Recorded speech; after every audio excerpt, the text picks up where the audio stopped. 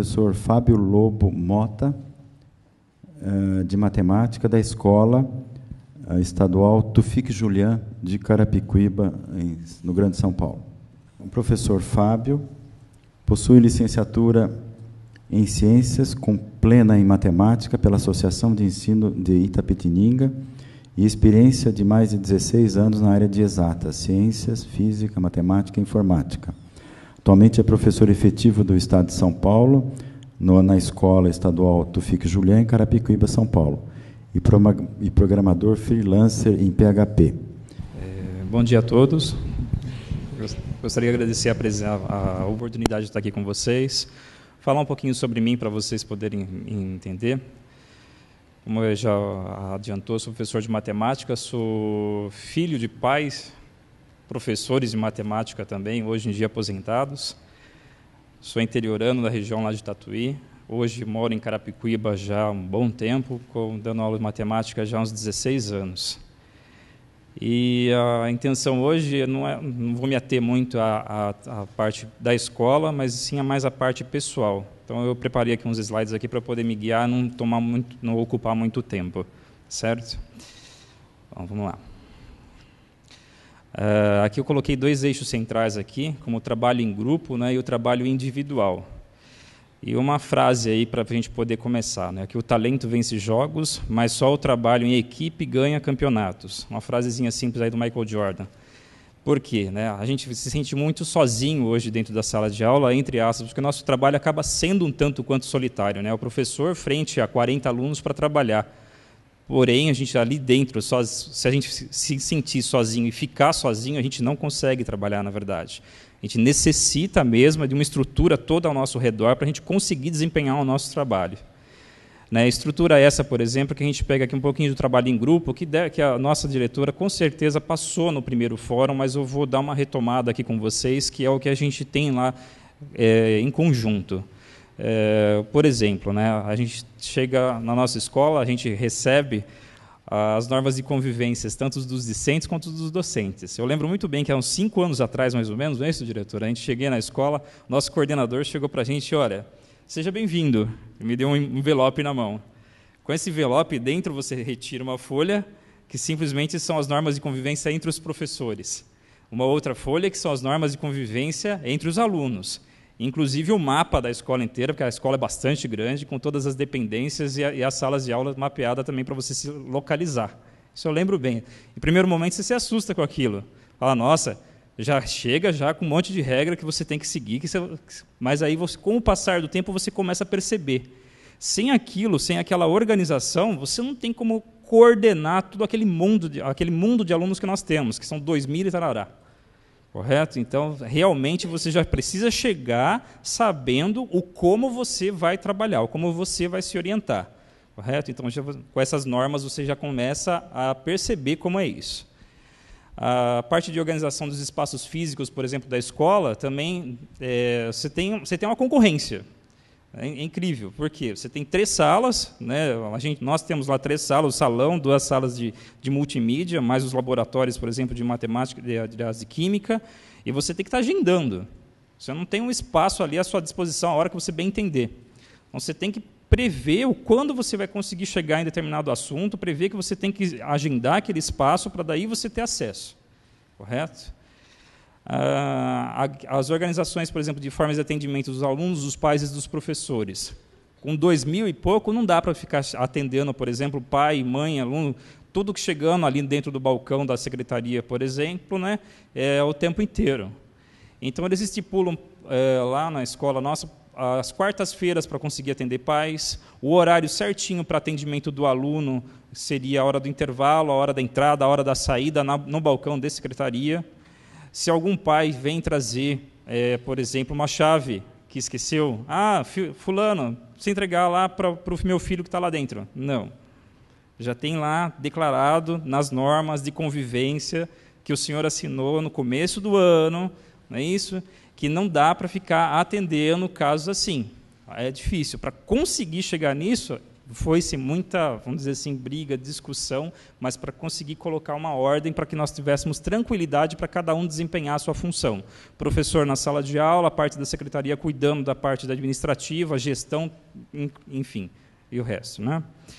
É, as reuniões de planejamento, aqui integrado com o projeto, que a gente sempre faz no começo do ano, acho que todos aqui né, trabalham com, com educação fazem isso, e dentro da, dessas reuniões a gente vai planejar o nosso ano inteiro. Inclusive já colocando os projetos de todos os professores para ver no qual você vai se enquadrar e no qual você também vai conseguir discutir com o seu parceiro para você seguir adiante e trabalhar em conjunto. Correto? Uh, a parte de análise de resultados também, do SARESP, SAEB, os índices que a gente estava bem discutindo, tanto esses índices que a gente vem hoje aqui, né, por, devido a esses índices que a gente vem aqui, é, não só discutir, mas discutir observando, mas analisando e verificando como que a gente pode melhorar e seguir adiante nesses, nesses índices. As reuniões bimestrais com os pais, elas são pré-programadas, aí a gente está conseguindo esse bimestre, esse ano, aliás, conseguimos fazer isso.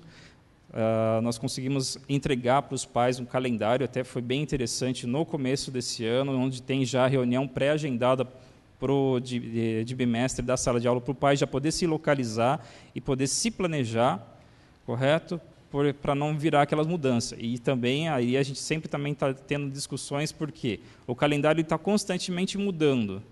Então, se você quer a presença, né, é, do pai dentro, das, dentro da, das reuniões, você também tem que deixar já com um tempo já previsto isso para ele.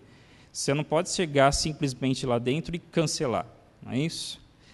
Uh, conselho participativo, que é bem interessante, onde a gente faz alterações de nota lá. É os outros professores têm direito a opinar sobre as nossas notas que nós damos também, exemplo, principalmente os pares, se eu sou de matemática, ou de física, ou de química, ou de biologia dentro das exatas, não é isso? E o apoio da gestão, da coordenação. Isso daí é o que, vamos dizer assim, é uma pequena parcela do que compõe o nosso trabalho em grupo. Que se for falar aqui, eu vou falar um, um tempão. Então, como falei é, no começo, já foi falado no primeiro fórum, não vou me ater muito a isso. Então, vou pegar mais a parte individual, entre aspas, não é isso? Porque o individual aí, na verdade, é um coletivo também. Então, a gente sempre começa no, no início do ano com a parte de diagnóstico. A parte de diagnóstico, cada, é, eu, pelo menos, eu faço a parte de cálculo, equacionamento, leitura, escrita, resolução de problemas. E baseado nesse é, diagnóstico com nossos alunos é que eu vou planejar daí como que eu vou trabalhar com eles durante o ano. Temos também o nosso chamado contrato didático, onde você apresenta para o seu aluno. Eu tenho um modelo, mas esse modelo ele é, ele, os próprios alunos eles podem modificar. O objetivo do contrato didático seria você firmar com o seu aluno o que você vai passar para ele, como que você vai trabalhar com ele, o que, que você vai cobrar dele, cada professor vai apresentando o seu, e o próprio aluno pode opinar para promover mudanças. Correto? A gente tem, na nossa escola, a gente faz um caderno separado só para português, outro só para matemática, outro para as outras disciplinas, com o objetivo de focar na, na, na defasagem, por exemplo, de matemática, Sendo um caderno individual de matemática, nós separamos esse caderno com as primeiras disciplinas, né, eu pelo menos faço dessa forma, separando o caderno com, as, é, com, o dia a dia, com uma matéria separada só para recuperação, seria, seria a parte de cálculos, né, regras de cálculo, e uma outra só para problemas de lógica, devido já à defasagem que a gente já está acostumado a estar tá recebendo. Né. A gente faz, eu faço o acompanhamento com eles de lições, e aqui eu vou, bom, enfim, eu vou tentar passar um a um aqui, vai ser mais fácil, tá? Vou pegar a parte do diagnóstico aqui vou mostrar para vocês uma questão simples aí colocada dentro do diagnóstico. Questão número 5, que normalmente eu faço isso já há uns 5 anos com os primeiros anos. Porque eu já estou ficando catedrático em pegar primeiro ano e trabalhar só com o primeiro ano. Tá? Ah, vocês, se vocês perceberem aqui, uma das questões ela vai trabalhar só a parte de números inteiros. Vocês podem perguntar para mim, mas não é absurdo você chegar dentro do primeiro ano do ensino médio e você aplicar uma questão de sexta série para eles? Não é. Infelizmente não, porque a gente consegue, dentro disso daí eu posso falar tranquilo para vocês. A gente pega 80, 90% do pessoal que erra numa questão simples assim. Então só ali você já sente. Né? Você está recebendo alunos de várias escolas, e essas várias escolas você percebe que o aluno está chegando com defasagem para caramba. Então você tem que trabalhar ali, você vai ter que trabalhar um processo de recuperação longo com esse aluno. Né? A parte do contrato didático, isso aí eu só mostrei assim longe para vocês, para vocês verem como que eu faço. São dois por folha.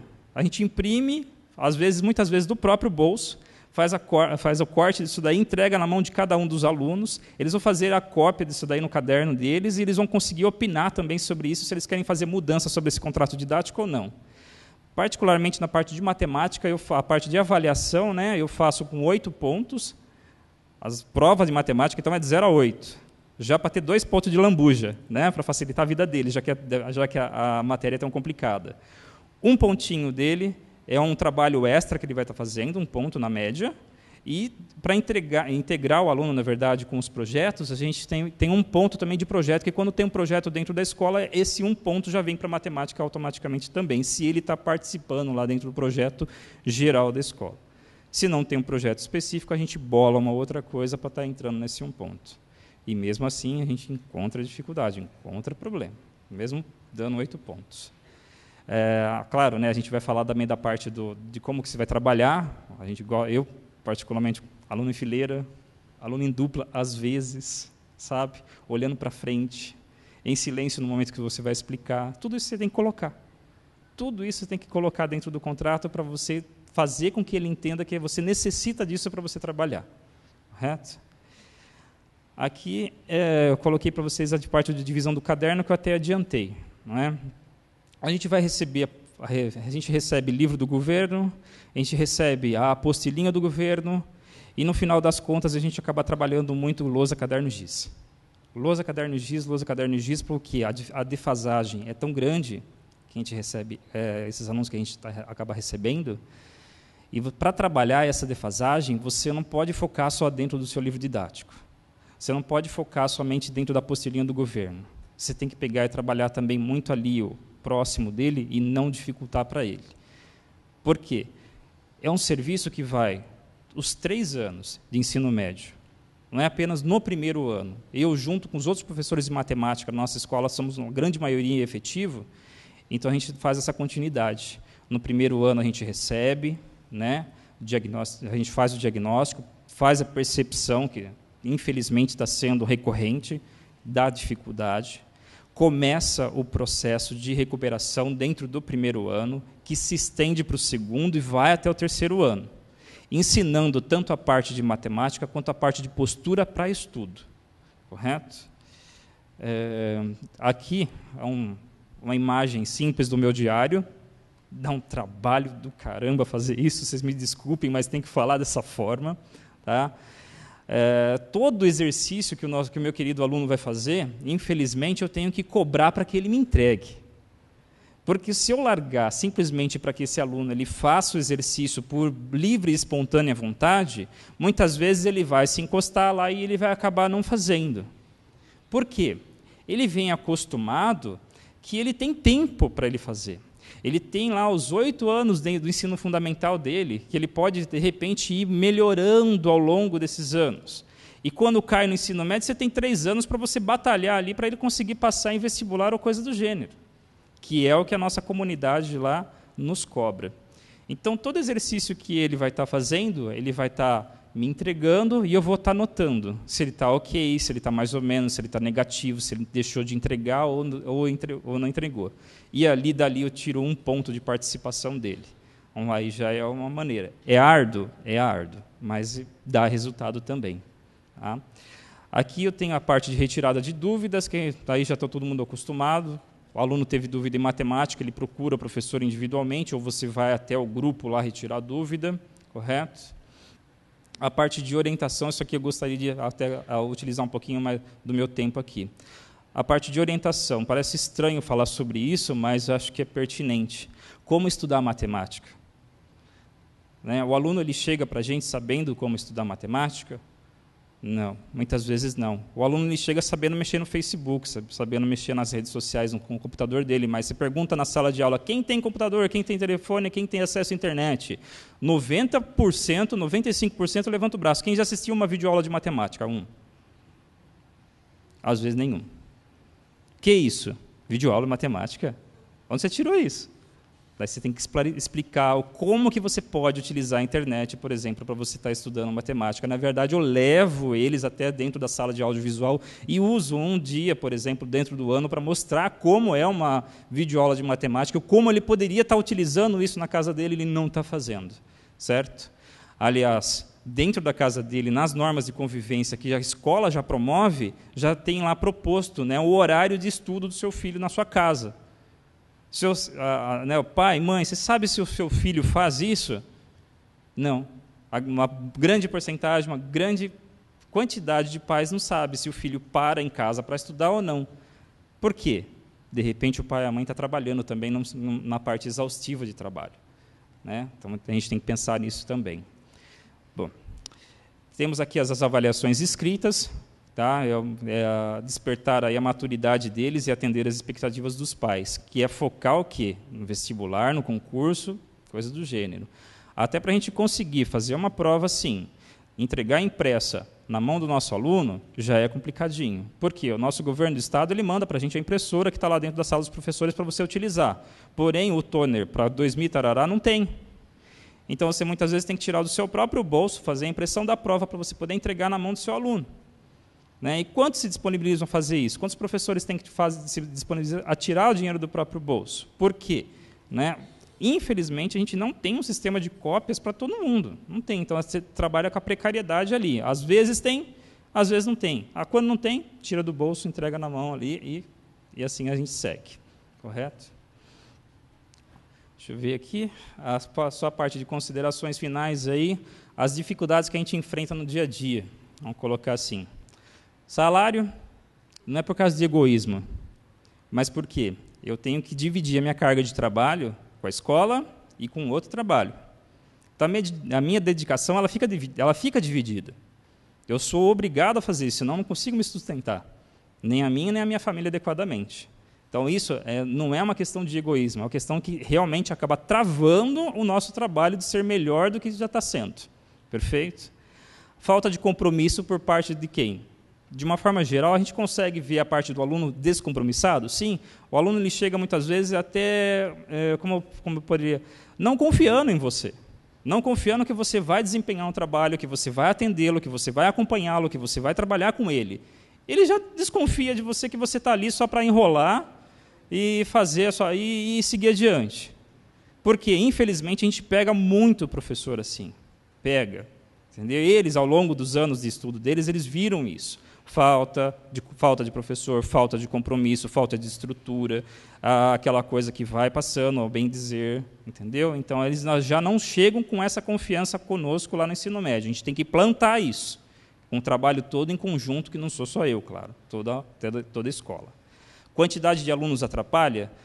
Sim, você pega 40, 30 e poucos dentro de uma sala de aula, com uma grande defasagem, às vezes você precisaria chegar mais próximo de um por um. Como que você consegue fazer isso? Muitas vezes você não consegue, você acaba aplicando uma educação de massa.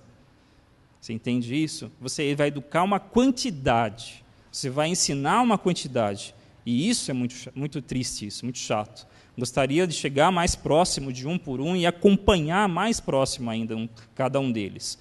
Aquele, aquela imagem do diário que eu tinha mostrado para vocês já é uma tentativa de se fazer isso, correto?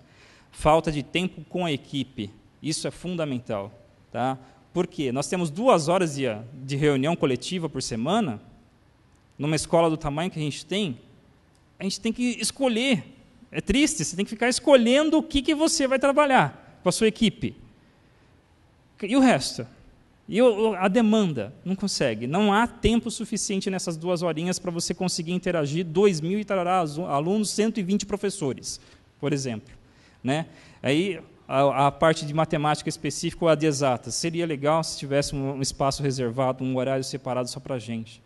A gente conseguir debater ali com os nossos pares e verificar as dificuldades que cada um está enfrentando dentro da sua sala de aula, por exemplo, e planejar ainda melhor como que vai ser o caminhar desses alunos. Bom, acredito eu que seja isso, pessoal. Aqui, passar um pouquinho para vocês o geral. Existe o grande trabalho da escola, que é a gestão, nossa coordenação, coordenador, coordenação, desculpa, faz para a gente, propicia para a gente, e assim, individualmente, a gente consegue entrar lá na nossa salinha de aula, correto? E ir aplicando com o nosso aluno a melhoria dele e trazer né, esse aluno para a gente. E quando a gente fala assim, história de sucesso, vocês vão me desculpar, eu fico preocupado, porque é um sucesso ainda, a gente está conseguindo melhoria? Tá, mas essa melhoria ela ainda está baixa, ela necessita ser melhor do que isso, bem melhor do que isso. Tá? E, e tomare, né, Deus, né, tomare que essa pequena contribuição que cada um de nós estamos trazendo aqui reflita acima, né, e com políticas mesmo que consigam estruturar de uma forma melhor esse ensino médio que a gente está vivenciando hoje. Não só ensino médio, mas a educação básica também como um todo. Obrigado por enquanto, gente.